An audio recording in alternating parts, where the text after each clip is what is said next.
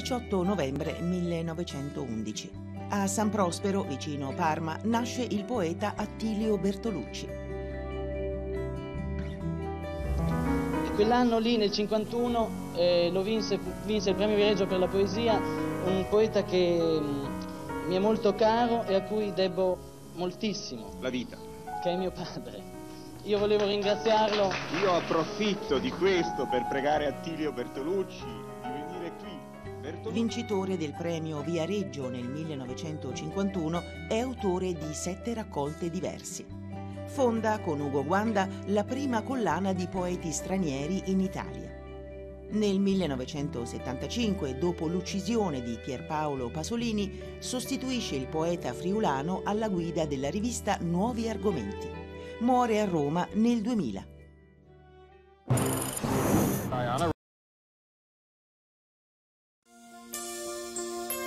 Thank you.